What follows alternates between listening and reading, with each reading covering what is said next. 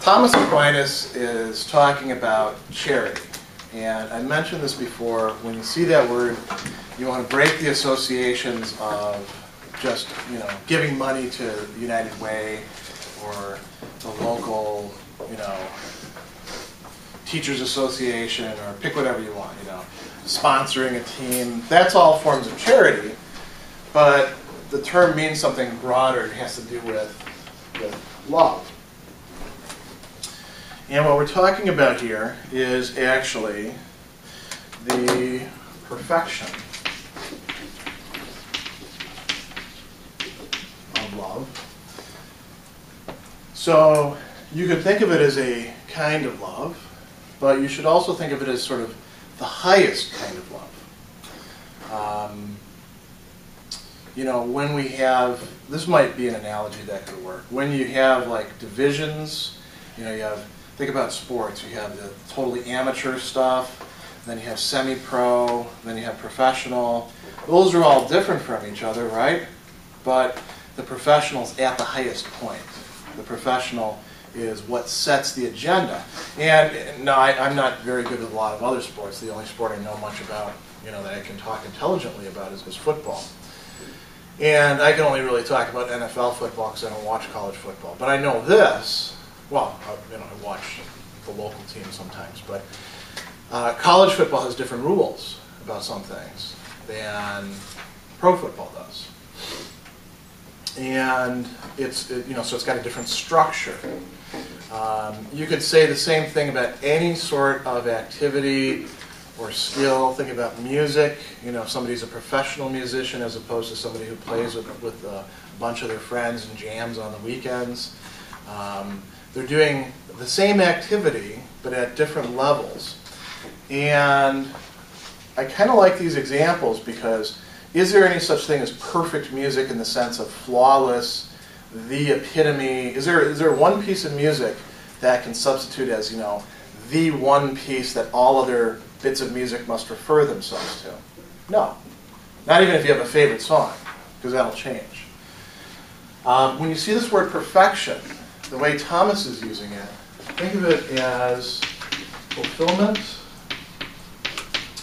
or as realization of full potential. So when we're talking about love, we're asking what would love at its fullest be? Um, there's all different kinds of love, right? You love chocolate, you love your pet, you love your mom and dad, you love brothers and sisters, maybe not so much right now, but maybe later you will more. Um, you love your friends, you love your hobbies. Those are all, you know, different things on a spectrum, right? You don't love your mom and dad the same way that you love chocolate, I hope or that's a very weird relationship. Um, similarly, you don't love your friends exactly the same way that you, you love your siblings. And with each of them, we could ask, well, what is the, what is the fullness of that? Loving chocolate, um, let's say you became a chocolate connoisseur. And are any of you really into chocolate? Like you actually know something about it? No? Are there any foods or, or drinks that you guys are connoisseurs of? I don't want to put. I'm not going to put you on the spot and ask you questions like, you know, prove to me that you actually understand cheese or something like that. Um, they've got the culinary up the road for that. But it, are there any things like that for you guys where you, you really are into that sort of thing? What, like what would what would yours? Oh, well, you're from a restaurant family, so you should. I really like wine. Okay, so wine is a great example. Um, the reason why wine can be incredibly expensive is because you can go up through a number of different levels. the, the really cheap stuff doesn't have much complexity to it. As you start getting to more and more uh, expensive stuff, the reason why people are paying premium for it is because if you have a refined palate, you can appreciate all these notes, they call them, and I don't really know that much about you probably know more about wine tasting than I do. I'm, I'm pretty easily satisfied because a ten dollar bottle of wine will do me just fine, you know. Um, now if it's beer, You know, I can tell you all about, you know, this kind of hop versus that kind of hop. Our love for these things, you know, what would consist in the fulfillment of that? It's nothing like what it would be for a person. It Doesn't matter how much you get to know a bottle of wine, you can't love a bottle of wine the way you can a person. Even a person who you don't know that well. Because a person is a different kind of being. Thomas also talks about, um, he talks about inanimate objects, so, you know, bottle of wine. He actually talks about wine quite a bit. Um, the Dominicans drank their share. He's from Italy, so, you know, drink wine. Um, he also talks about irrational animals. Can you love, now we get a little bit closer to home. Your love for your pets. How many of you have pets? So quite a few of you. How many of you have had pets in your lifetime? Um, can you love your pet to the same degree as you can love the person who will be your soulmate? You know, you should probably say no to that. Because otherwise you may end up being the crazy cat person 30 years from now in a house all by yourself, talking to, you know, Mr. Whiskers and stuff like that. Um, because human beings are capable of much more sophisticated interactions with each other. And don't get me wrong, I love my cats. Um, and I've had a lot of dogs and cats and various other animals through my life. but you're not able to realize the same kind of relationship with them. You can be a very, very good pet owner. You can be very loving with your cats. You know, what does it take to, for a cat to flourish? Uh, you need to play with it. You know, you need to come home and give it the attention that it will maybe take or maybe disdain, right? Because it's a cat. Um, dogs need somewhat different things. Dogs are, you know, a bit more hands-on than, than cats. Cats need your lap to sit in. Um, you can you can be a better or worse lover of your cat or your dog. What about human beings? Now think about the, the incredible range of behavior towards human beings, what Thomas would call rational animals. We're able to feel, to, to do things, to think uh, and judge very differently. So again, when you see this word perfection, don't think like there's something like a model of perfect love out there that's a one size fits all kind of thing, and that if you were going to have perfect love, you'd have to conform to that.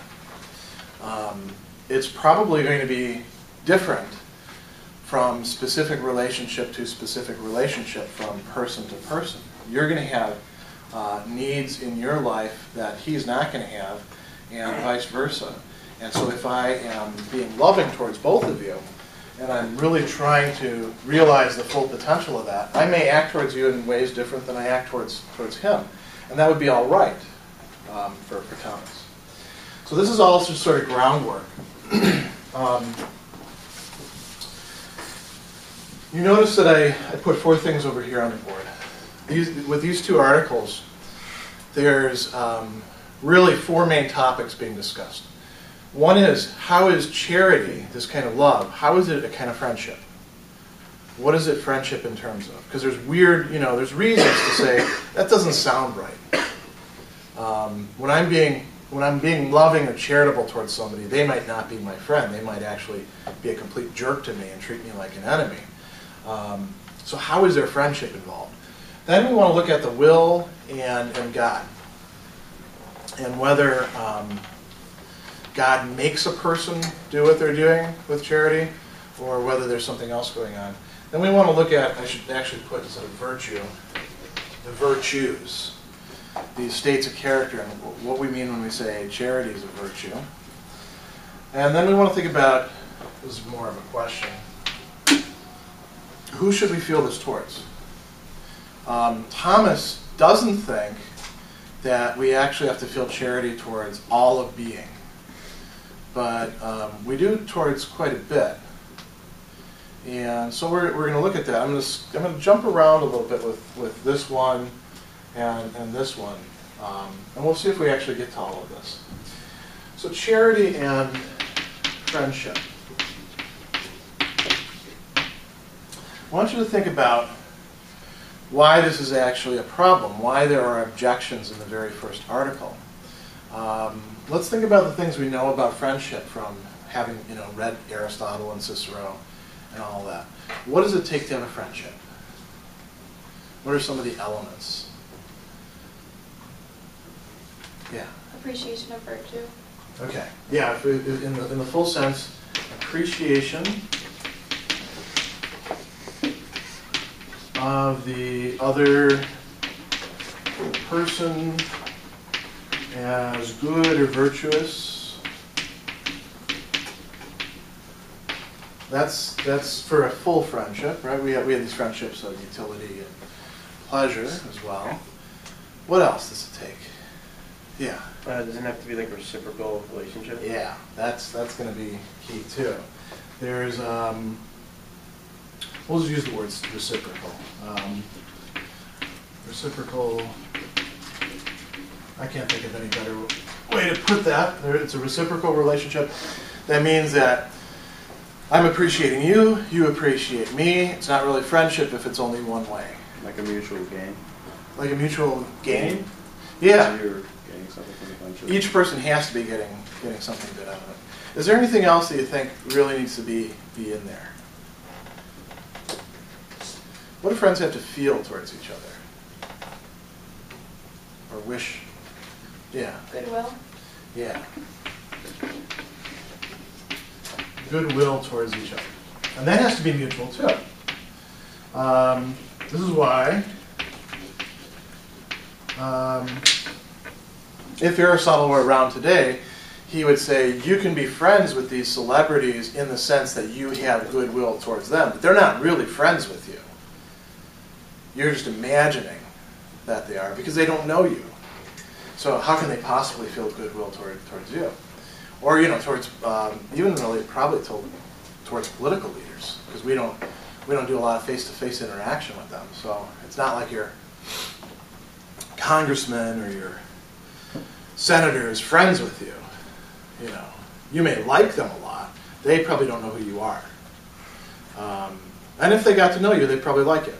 But they, you know, them spending the time to get to know you means they're not going to have time to know somebody else, and you know they have friends and family of their own. So now let's think about what he's talking about as charity. So charity is this self-giving love that Christianity in the Gospels and in the letters was really pushing because this Jesus guy who walked around and gave all these, you know, lectures and homilies and, and you know, help people out. He said things like, you have to love your enemies. He said things that are, they're actually in, for theology called the hard sayings.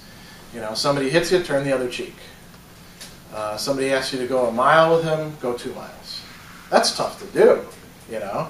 And it's even tough to hear because you're like, man, I don't want to do that. Uh, but but this is something that's essential to Christianity, and a lot of people did it, um, even to the point of, of accepting terrible things happening to them for the sake of the people that, that they were loving. So that doesn't sound like friendship, does it? I mean, if I'm being friendly towards you, if I have goodwill towards you, um, but you hate me and you're attacking me, you're not my friend, right? So how is there a friendship there? Um, think about this too. If you, if I actually am nice to you and you treat me like crap, you're probably not virtuous, right? You're probably a mean person. So um, there may be, you know, for me to love you even when you're not lovable, or in, in you know respective things in which you're not lovable, because everybody is lovable to some degree, um, except for you know the demons, according to Thomas. Um, there, there isn't anything like this there, though. So what's going on here with, with charity? How is charity like friendship? That's why he brings up these objections. Because they're good objections. They make sense to ask. So he says, well, let's think about what friendship really means at its essence. And he makes two different moves here.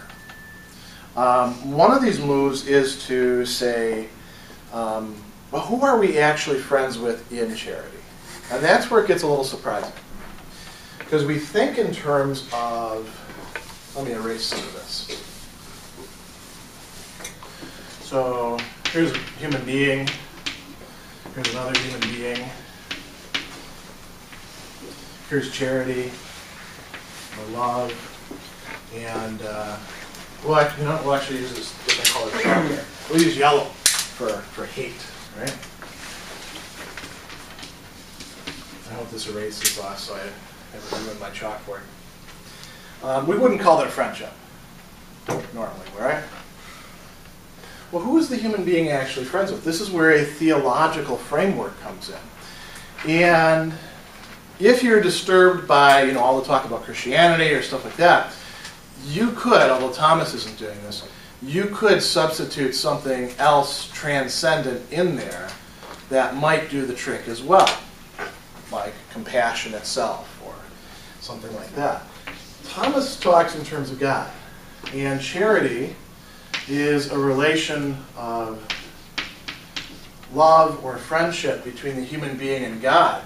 And it's through that that we then love the human being who we, we love, even though they treat us like crap or you know aren't interested in who we are. The primary relationship is with, with God. This is where the friendship is. And here's where it gets really interesting. Um, he, in replying to one of the objections, he says, Friendship extends to a person in two ways. First, in respect of himself. So I like you for who you are, right? You like me for who I am. That's a friendship. Secondly, it extends to someone in respect of another. As when a man has friendship for a certain person, now think about whether this is this is something that you have experienced.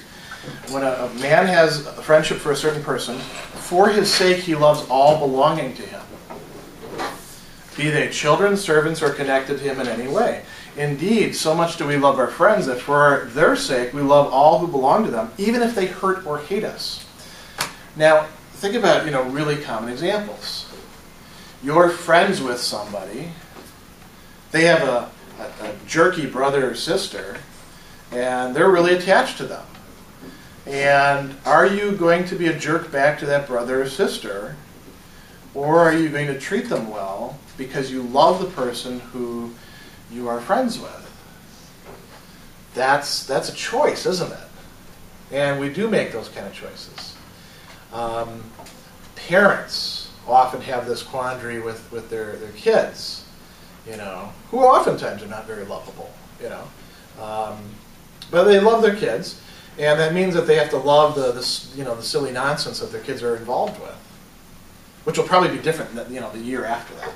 Um, but to, to really love somebody means to not just love them, but to be open to what it is that they value, what it is that, that they love as well. Even if that, you know, isn't your thing, or, or if it's a person they treat you badly. So in terms of God, loving God means loving other people because God loves them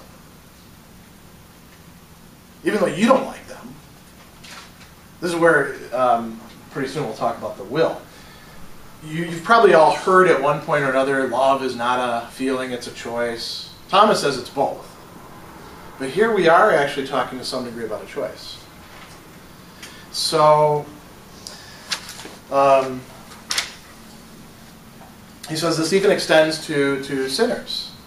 Um, now, by sinners, he doesn't mean just all of us. He means people who are like going out and deliberately doing things wrong, and you told them, knock it off. You know, you're hurting yourself, you're hurting me, you're hurting these other people. Um, what you're doing is, is damaging, wrong, and they say, screw you, I'm going to do it anyway. Um, you can even love them, and that's actually part of what God is, at least, you know, in, in the New Testament scriptures that Thomas was looking at, telling you to do.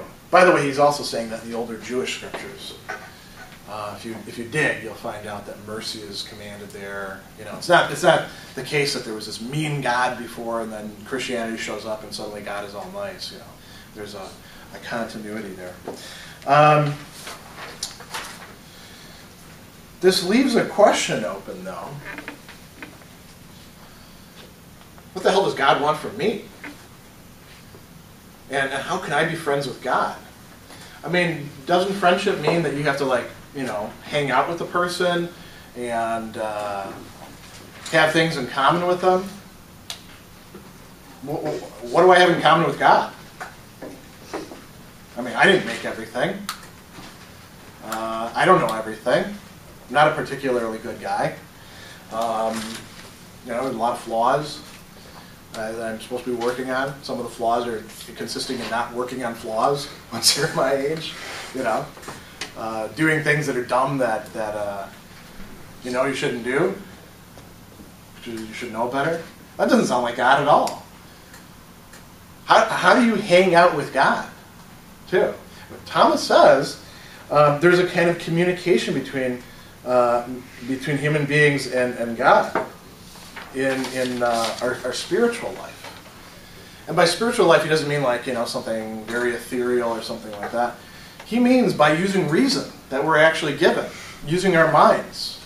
When we actually use our minds effectively, we are um, living a life of, of, of conversation to a certain degree with, with God, to the degree that we're capable of that.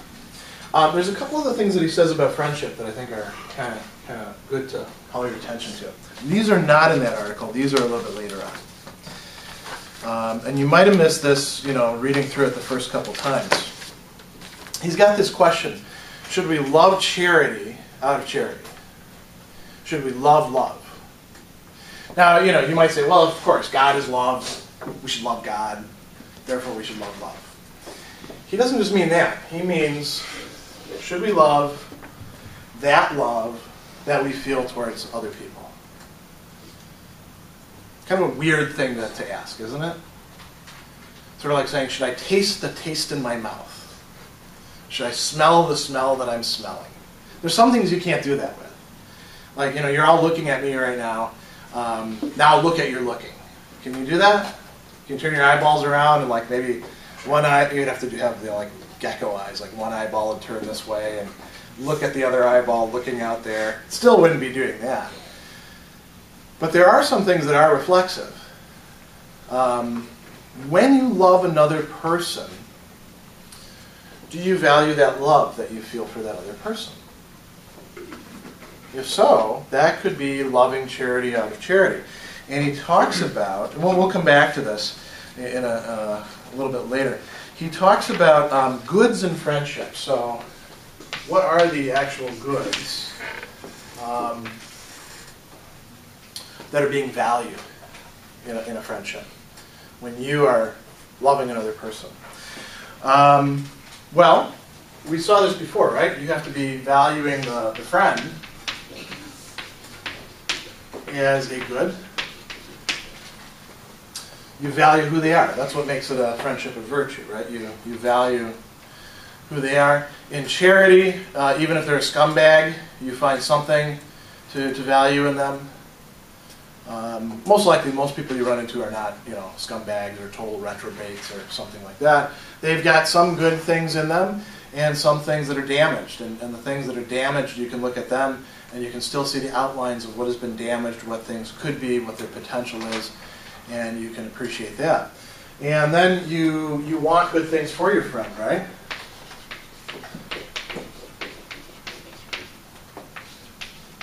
Isn't that part of what makes it friendship? You desire good things.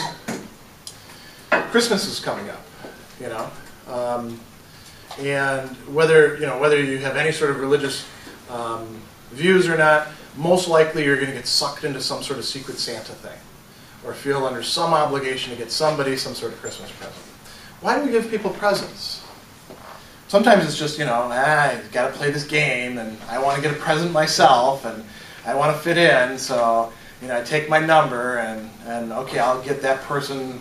Who knows? You know, some little lifesaver books. You know, you remember those from Christmas? books, you open them up and it's like a bunch of lifesavers. And we used to really like those. Or, uh, you know, I'll get them a figurine or something like that. What's it like when you actually want to give somebody a gift? Yeah. You want them to feel joy? Yeah, that's a good way to put it. You want to bring joy by what you're giving them. Um, And so, you know, sometimes you're disappointed, like if you give them something and, and it's something that you would like, and you think they would like it, and they're like, oh, yeah. Do you have the receipt? Uh, always, especially with clothes, right? You put the receipt in the gift box because, you know, that way they don't have to ask you for it when they take it back. Do you ever want to see uh, something really interesting? How many of you have ever gone um, to exchange items like right after the holidays? And, and you see like lines and lines of people exchanging gifts that um, somebody gave them and they don't want. They want to get something else instead. When you, you know, when, when your gift is thoughtful, you do want to give the other person joy. You want to make them happy. You want to give them something that will mesh with, with who they are. Um, that's why iTunes gift cards are, you know, particularly good because it's easy to use them, right? They can figure out what they want. But you want good things for your friend. And, you know, is this is this a sum total of it? No, you want your friend to be healthy. You want your friend to be happy. You want your friend to be successful. This is part of what it means to, to be a friend. Um, Thomas says that we also value the good of the, the relationship or the, the affection um, if it's more one way. Um, that's a really interesting idea, isn't it? When we, when we value our friendship, we don't just value how it makes us feel. We value the fact that within it, we're able, we're, we're made, it's made possible for us to do good to other people.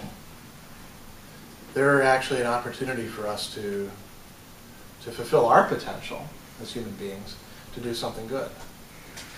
So that's, that's what Thomas means in talking about friendship. Now, could this still be one way? Yeah, it could, it could still be one way. So it's not like friendship in that respect. But it is like friendship in the, oh, look at that. See, it's not coming off. in, the, in the other respects. Um, so how does this how does this actually work? That's where we get to the second issue about um, charity. So, you, bless you. Thank you. Let's think about it this way: you got a human being.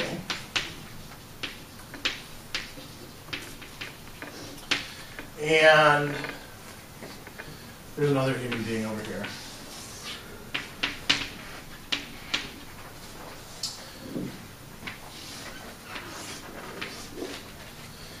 Charity um, takes place. It comes into the world in part, you know, inside the human being, but also externally in actions.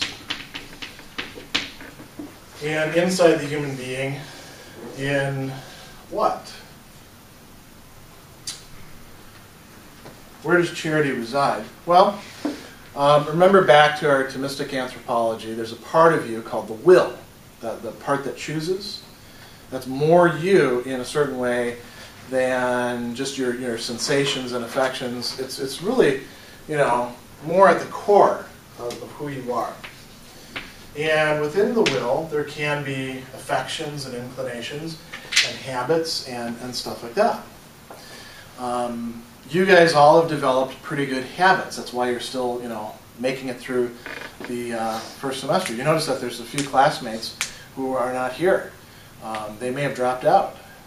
Um, the fact that you have stayed through here is not because it was, you know, super easy for you or something like that. It's because you kept on choosing to do the right thing. You have habits of getting up, of doing your homework, of coming to class, of paying attention when you are in class rather than just, you know, playing on your phone. Um, you have all these habits. Those exist in your will. Similarly, these things exist for loving. If you find yourself to be a person who has a very hard time opening up and loving other people, that's probably not just because of fear, it's probably also because of a pattern or a habit within your soul. Similar, similarly, people who, you know, when you observe them in context after context after context, they're open, they are loving with other people, they're, they're receptive, they're able to get into relationships fairly easily. That's a habit. People who make dumb mistakes in relationships, very often that's a habit. You know, they make the same mistake over and over again. And then people who, you know, seem to make the right choices over and over again. Even when it's tough, it's probably a matter of habit. Habits can be what we call virtues. And so we're going to get to that in a moment. But first we want to figure out, well, how does this, this, this stuff get there in the first place? Now, um, Thomas thinks that God plays a role in this. It's not just having, you know, this relation of, of affection towards God, this, this friendship. Friends do good things for each other, right? Thomas doesn't say precisely this, but, but God does something to the person. He puts something there in the will.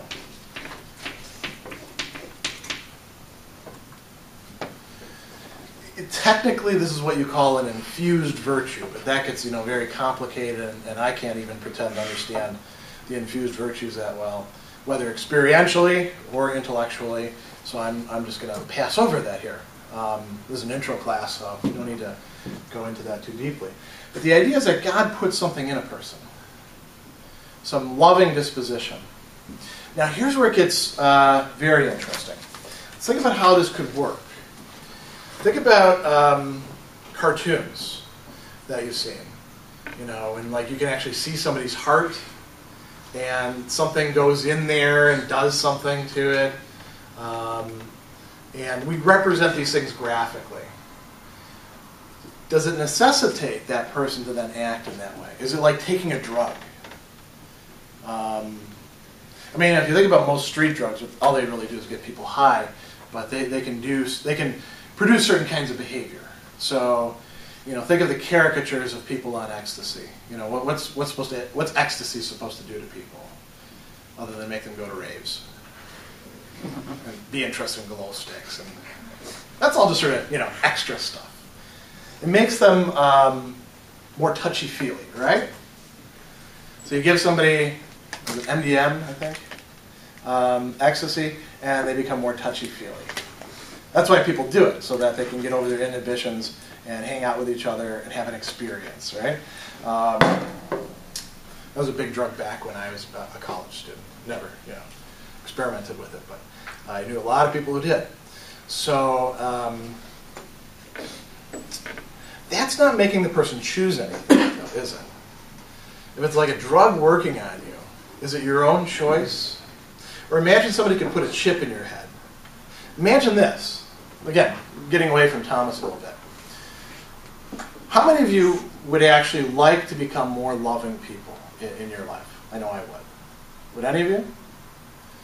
Let's say I could put a chip in the back of your head, and it would tap into your brain, and every time that you're tempted to think, you know, negative thoughts about, about people that you don't really need to think, it would, it would still let you think negative thoughts about people who are dangerous or, you know, genuine pains in the rear but it would kind of filter out a lot of your negative thoughts, and it would substitute happy thoughts instead, positive thoughts towards those people. So you then would, would you know behave in more loving ways towards them. So you know I'll give you a common parent thing, right? Parents lose their temper at, at kids because kids push, you know, and push and push and push because kids are egocentric, and so kids will be making noise, and eventually the parent, you know, thinks that's enough. I've had it. And they turn around, knock it off, you know. And then the kid, you know, is like, you know, mom or dad's mad. Um, now imagine that chip is there, and uh, you're thinking, you know, damn those kids. Why why can't they behave? They're so um, selfish. I just need to get this work done, and I can't concentrate. And you know, the chip goes off and it turns it into. Little Junior is so creative. I can't believe how how creative they are in expressing themselves through sound. You know, and then you're like, oh, I love Little Junior. And you don't feel angry anymore. Or, you know, harbor any resentment or stuff like that. Would that be a good thing? Sounds like a pretty good thing, right? Imagine if you got that at Christmas, like your relatives, you know, put that in your stocking. You're like, oh, you're sending me a message, huh? Well, it wouldn't bother you if you put the chip in. Then you'd be like, oh, they're just looking out for me. I'm so fortunate to have relatives that are so thoughtful. How many of you wouldn't like to do that? I know I, I sure as hell would. The rest of you would be okay with it? Why wouldn't you like something like that making you a better person? Yeah, It's not sincere. Oh, go ahead. Yeah, it's not sincere. Okay, what were you gonna say? It's not natural. It's not natural. Okay, that's that's. Those are both sort of along the same lines. What do you mean by natural? It's just that, um, it's not like the initial feelings. It's not, I mean, Okay, basically. You're both on something that Thomas is is going to take as very being very important, and the nature part is is important too. It's not really a will, a human will, unless it's free. So you know, sincerity is an aspect of this.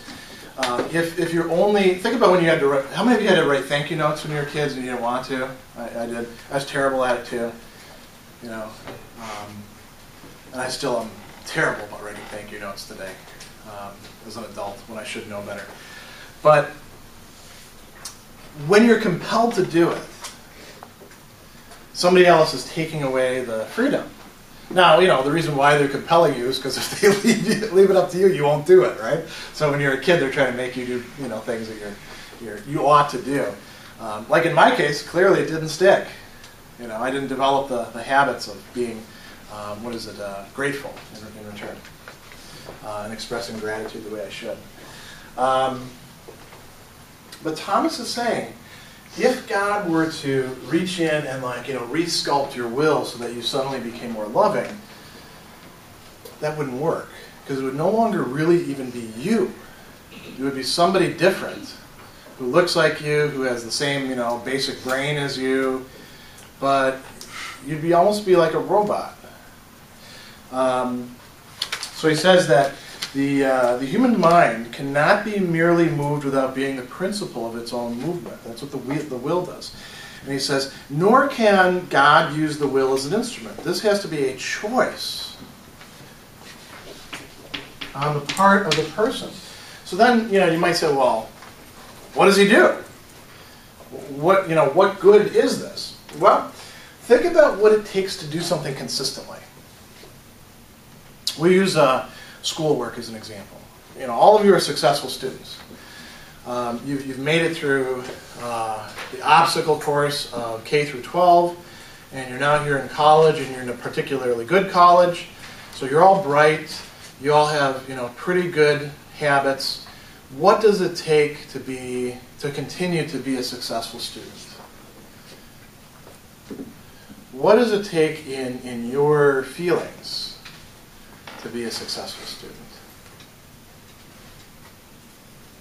If you hate this, do you think you can make another three and a half years? What do you think?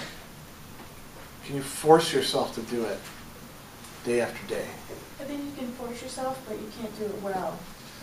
Okay, that's that's an important uh, point too.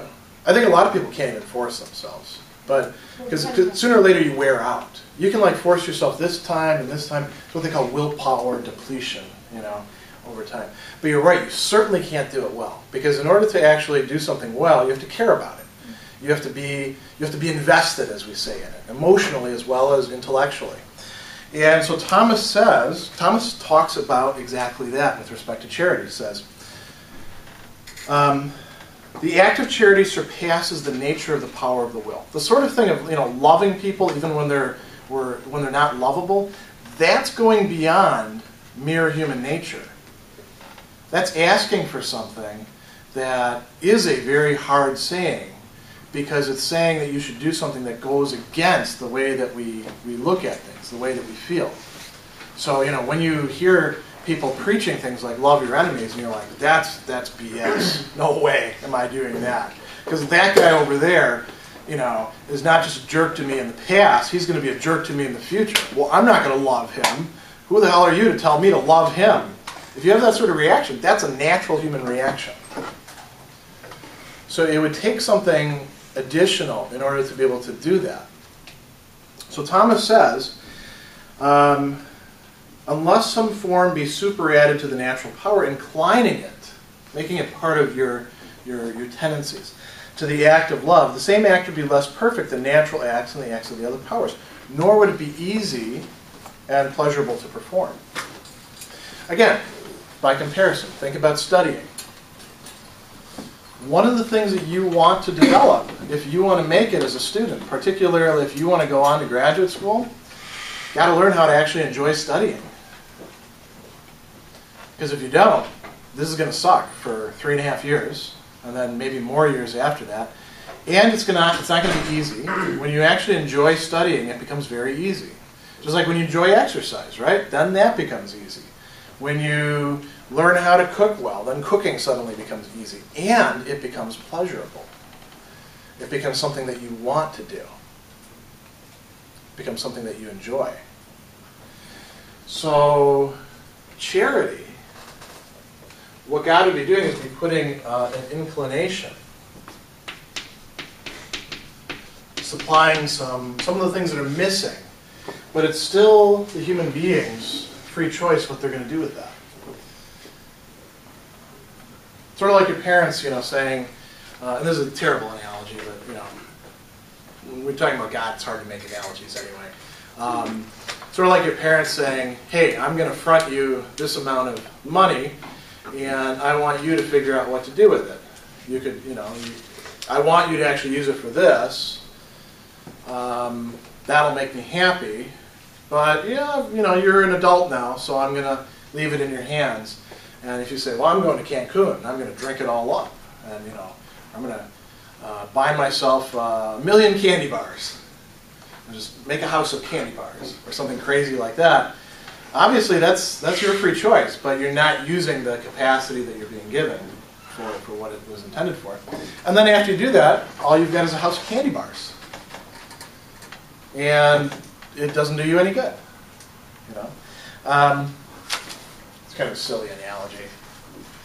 We hope that it won't become like a line. All you've got is a house of candy bars. Um, this goes back as well to this thing about um, loving uh, love. So what does it mean for the will to be free? We talked about this with Augustine.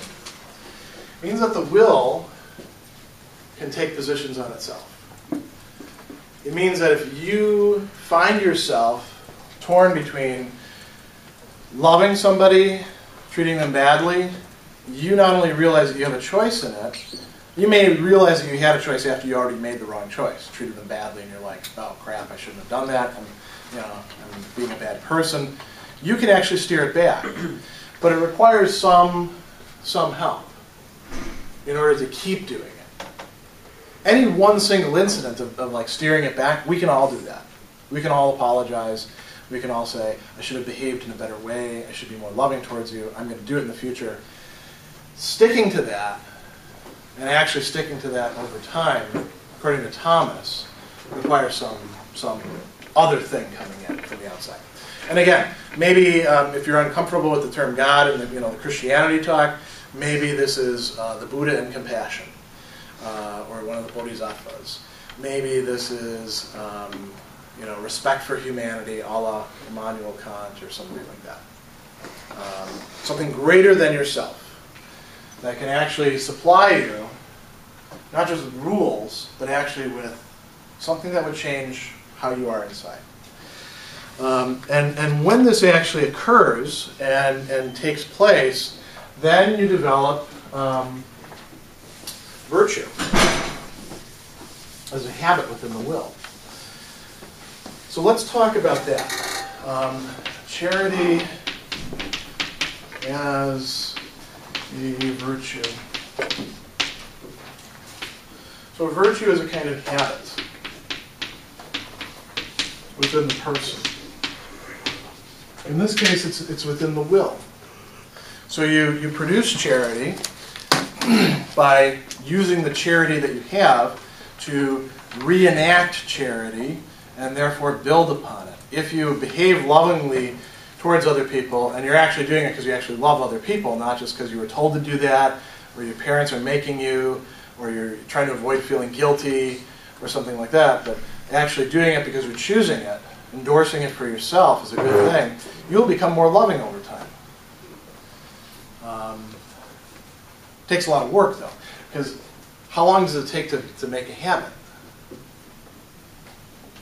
Have you ever had a bad habit that you wanted to get rid of? Like, uh, I don't know, some people chew their nails or what are other things kids do as little kids? Like chewing the nails, they put this bitter stuff on your nails so you bite them. Tastes bad and it helps people break the habit. Um, I used to have a habit when I had beards of like always playing with the beard. It used to drive people nuts. And I'd find myself like twisting the hairs and they'd get all weird looking. I'd, I'd break. You do that? Yeah, I was literally just doing it. When I was your age, I, was, I do that all the time. And, and my friends and family were like, "You got to shave that off because I can't stand looking at you." You know? Thanks. I no, I didn't notice.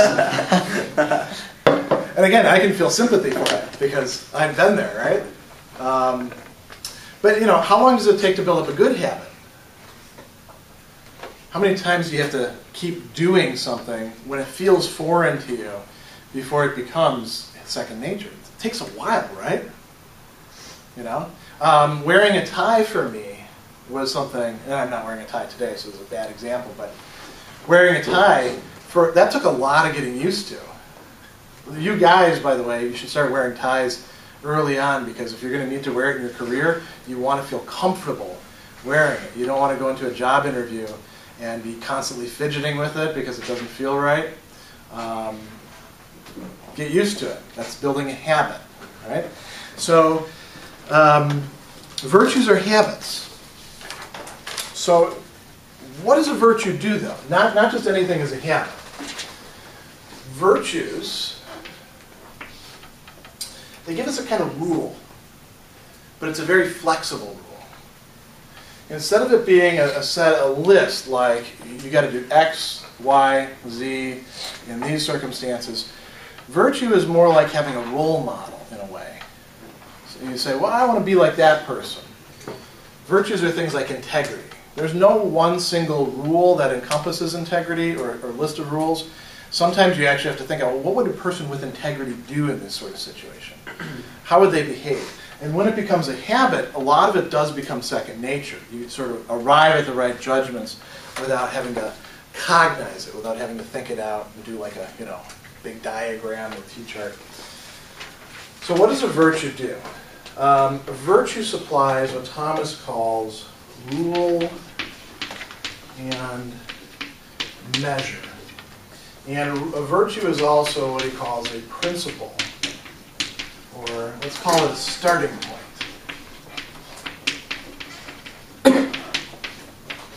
for action. Um, all the virtues are oriented towards some goods, some ends, some goals. Um, what, what, what, what good is courage, for example? What do we need courage for? Do we need it in order to get along with each other? Not really. What do we need courage for? What is what sort of situations? Yeah. Like to try new things that you're not comfortable with. Okay, so it could be could serve the end of exploration, for example. Um, what else do we need courage for? That, that's a particularly nice time to have courage. Um, we need it in more desperate situations too, though. All of you are going to need courage during your lifetime when people pressure you to do the wrong thing. And that will happen. What are you having to stand up against?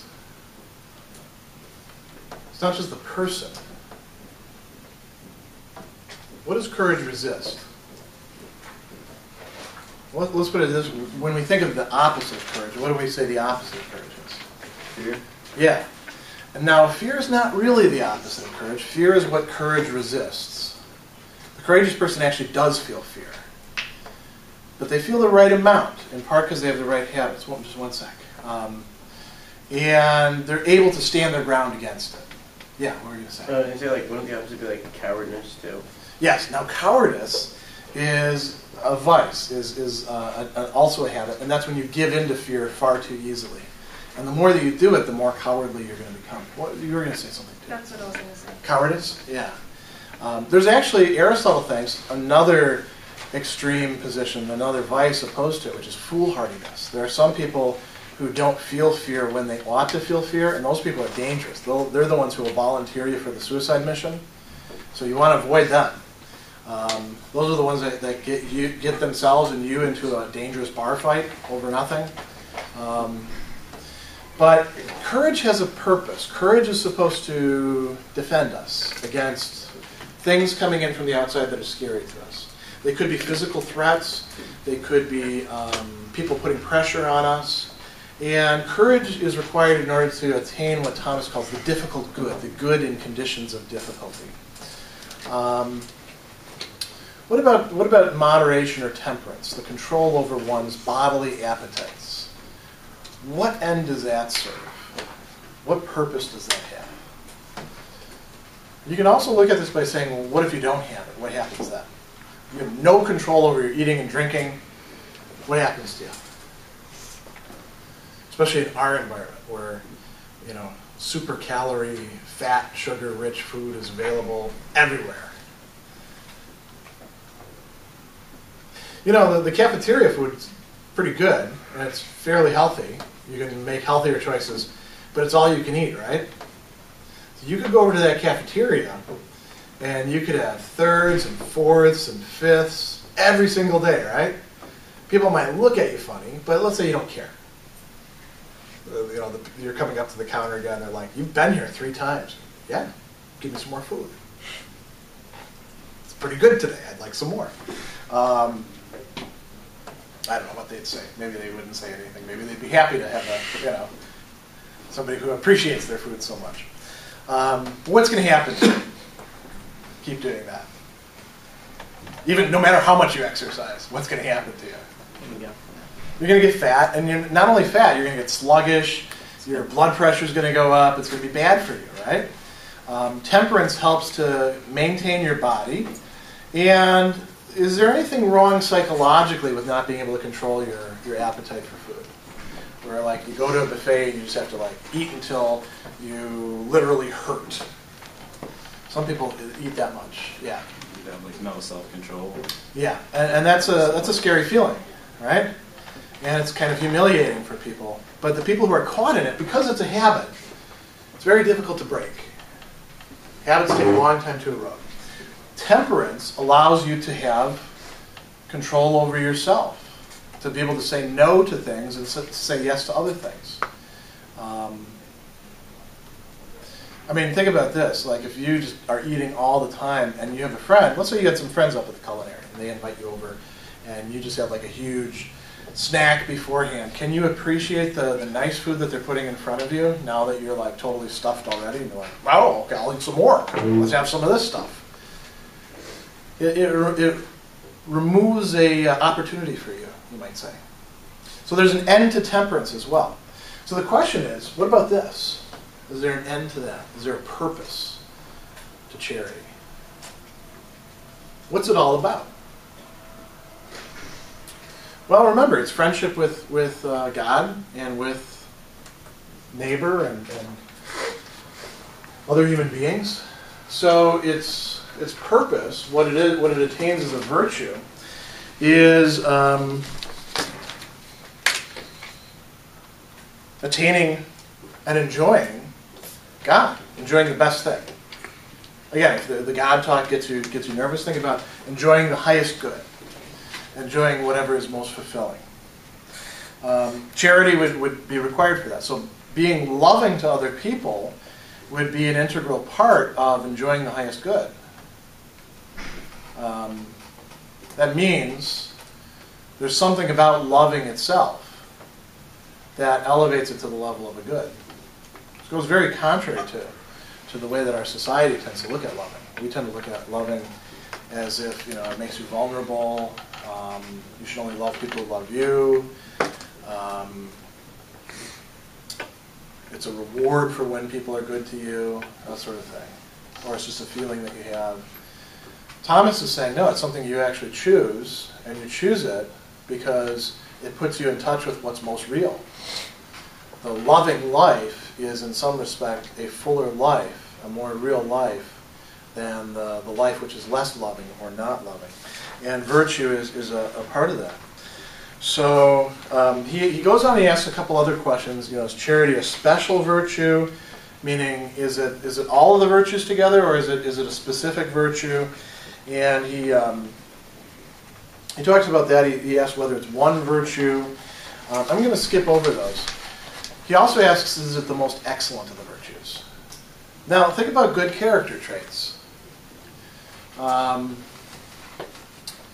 we talked about courage. We talked about temperance or self-control. What else? What else do you want to? Your ideal self. What would it look like? What kind of traits would you have? If you could change things about you overnight, what kind of person would you be? I know I'd have better control over my anger. I'd have the, the virtue of patience or mildness, which I sure as hell don't have now. But I'm closer to than I was when I was your age, thank God. Um, what would you want? Would you want to be more fair? Be able to treat people fairly even when you, you know, when it goes against your inclinations? That would be being just. That'd be a just person. Do you find yourself lying to people when, when you don't want to? But you know, you want to. You also don't want to tell them the truth. Maybe honesty could be a, a virtue that you'd want to have. Um, what else? Are there any other things that you'd like to to have? How many of you would like to be more loving? I, I know I would. Um, my life would be a better life. Thomas is right about this. My life would be a better life if I were a more loving person. Um, yours would too. The question is, is charity the highest, the most excellent of the virtues? So there's a couple ways you could look at this. Well, you know, what is, how do we tell what's really excellent? Is courage better than, say, temperance? Or is prudence better than both of those? So Thomas says, since good in human acts depends on their being regulated by the due rule, by the, the rule that's appropriate to it, it must be that human virtue, which is a principle of good acts, consists in attaining the rule of human acts. The rule of human acts is twofold. Part of it comes from your rationality. When you eat too much, there is a part of yourself, and unless you're like totally far gone, there's a part of yourself that's like, you shouldn't be eating so much. And it's not just like an inner censor, like your internalized mom or dad, you know, getting down on you. It's reason actually saying this is not good for you. You might also have internalized, you know, parents or the media saying you're going to get fat and fat is terrible or something like that, right? But that's not that helpful. That's what turns people into anorexics or bulimics or gives all sorts of other eating disorders.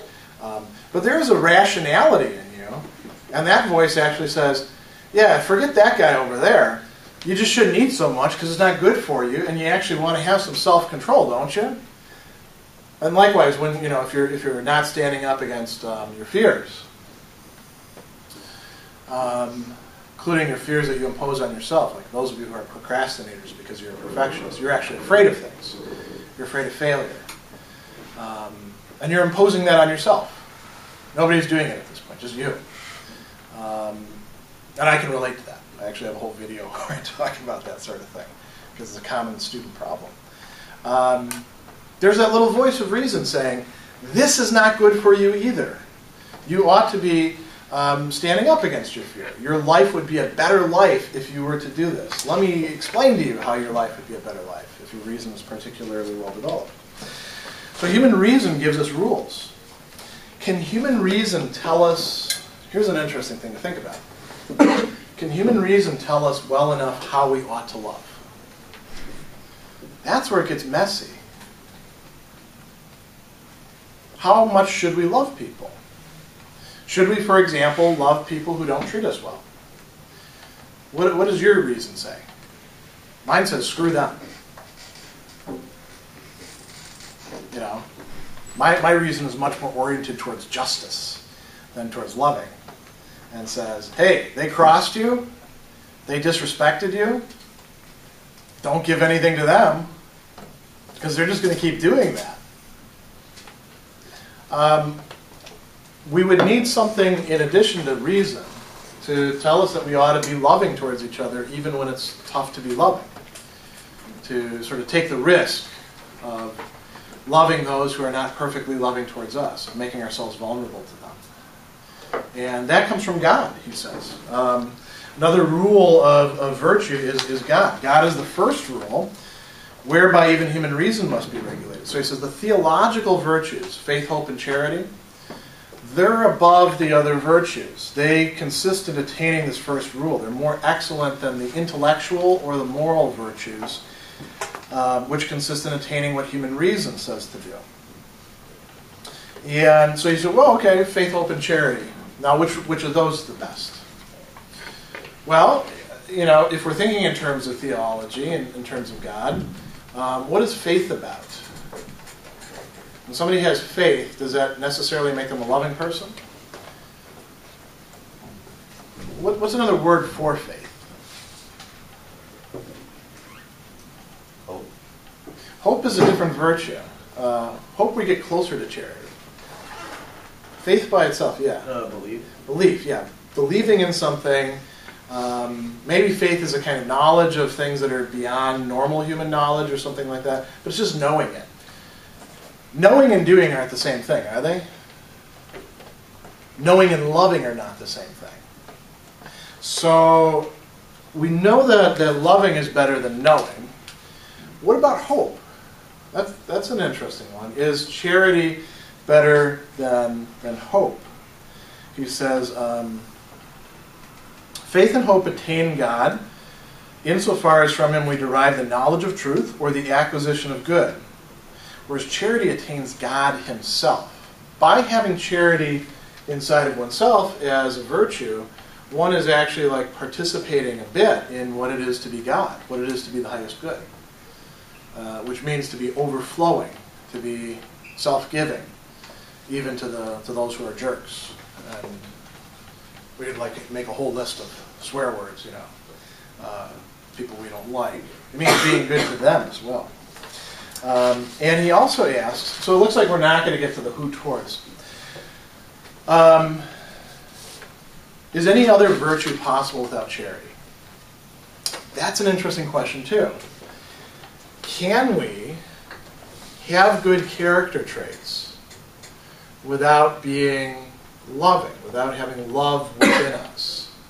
He says, yeah, in a way we can. Um, he says, if we're thinking about the ends of, of you know, the virtues, there's the last end, which is actually, you know, this is a theological thing, enjoying life with God, you know, all that sort of stuff. We'll put that over here for the time being.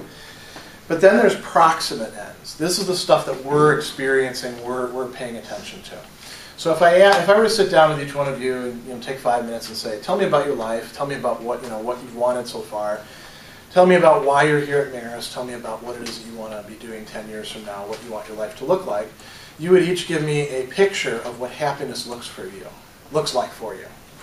And it would be somewhat different, you know, but there'd be a lot of common elements. Friends and family would be a part of it.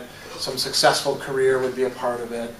Um, those are ends. Those are goals. Those are things that you want out of life. Probably to be loved it would be another one. That's why you want friends and family. Um, now, those are proximate and particular ends. Some of those could be directed to that ultimate end, or at least compatible with it. Is there, is there anything, you know, if, if, if it's like enjoying God in eternity forever, or having a good career, is that a fatal choice where, like, well, if you choose a good career, you can't have God? Of course not. Now, there are some careers that's probably going to rule out. Could you be a hitman? Probably not. Right? Could you be a corporate lawyer covering up, um, you know, uh, diseases infecting babies? Probably not. But most careers, most ends of having a good career could actually be quite compatible with that. They could serve that last end. Um, there are some that are there are some ends that we have that are not actually genuine goods, but apparent goods. And we often get seduced by this. Um, well, at your age and at my age, there's different there's different things. At my age, it's things like career. People start becoming very concerned with their legacy, with you know what it is that they're leaving behind, and they can you know they can chase that will o' the wisp quite quite far. At your age, it's more things like um, enjoying uh, physical things, you know, trying out new experiences, and, and you know, really going as far as you can with them. Um, when I was in graduate school, have I told you guys this story? A friend of mine and I did an experiment. We said we're going to drink straight for a week. You know, we didn't go to class, and we just every day we started drinking in the morning, and we just drink the entire day. And we only made it like five days, where we were, and we were, you know, like in our late twenties when we were doing this. So you know, we should have known better. Um, we only made it five days because you, you just can't do that sort of thing unless you're a hardcore alcoholic. And uh, we were so like hungover and sore, you know. But that's the sort of thing people do, right? People hook up with other people and they're like, "Yeah, I'm going to enjoy this." That's an apparent good. That's not that's not the real good. Virtues, what we think are virtues, can be aimed at attaining the apparent good. There are certain character traits that will help you earn a lot of money. But money is not the greatest good, and it may not actually have anything to do with whether you attain these other more valuable goods. Then there's virtues that attain the proximate ends of this life. Being a good friend to somebody, that's a virtue. Being able to be friends with people. You know, Aristotle even says having a sense of humor, a good sense of humor, is a virtue. That'll help you get along in here. Then there's the final end, the one that puts all the other things into perspective, and that's what charity is about. But notice, charity sort of gets backed up into all of our day to day worldly concerns. It, it in, you might say, this is the wrong language to use, but I'm going to use it anyway. It in, charity invades the secular world and transforms it and sustains it and makes it better. That's Thomas's vision about it. Charity does so in people by becoming a, a part of who they are. So love and friendship, because charity is friendship, enters into people and makes them, you might say, agents of the divine. So that's a good place to leave off, I think. A lot, lot of stuff to think about.